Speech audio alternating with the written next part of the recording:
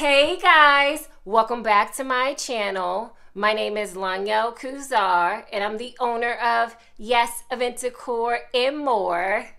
So I have been super busy and I know I'm behind with giving you guys videos. So in this week, we are gonna get caught up. I wanna show you guys all the things that I've been working on, okay?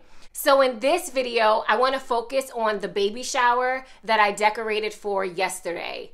It was a butterfly theme and I loved the way that it came out, all right? So we're gonna get into the setup and then make sure you stay tuned to the end of the video because I have some lessons learned for you guys. All right, so let's get started.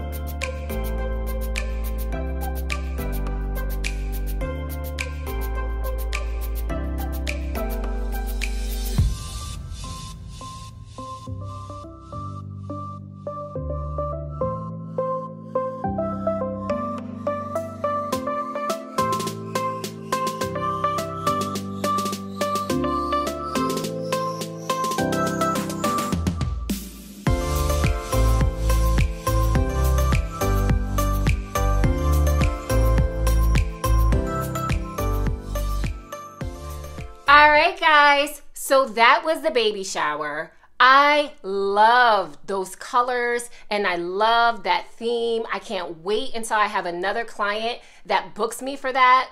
The lighting in the room was kind of dark. And then, because the baby shower was in the evening, it started getting dark. So I hope you guys were able to see those beautiful decorations. I'm gonna be reaching out to the photographer because I'm pretty sure his pictures came out way better than mine. So if you guys follow me on Instagram, be sure to check those pictures out. I'll make sure I post them as soon as I get them. All right, so let's get into the lessons learned. So I have two lessons learned for you guys. The first one is to make sure that you always do a venue visit, all right? My client was in contact with me the whole time that she was selecting venues. So she would go visit one and then send me pictures of it to see, you know, what I thought about it. When she went with this venue, she told me that things were to be tight, but I didn't understand until I actually went to go see the venue for myself. So I'm so happy that I did a venue visit before I started decorating because it was definitely tight on space. So just because they say that the maximum capacity is a certain number of people doesn't mean that you want that maximum number of capacity in there, right? Because then you don't necessarily have the extra space for people to maneuver or to put decorations.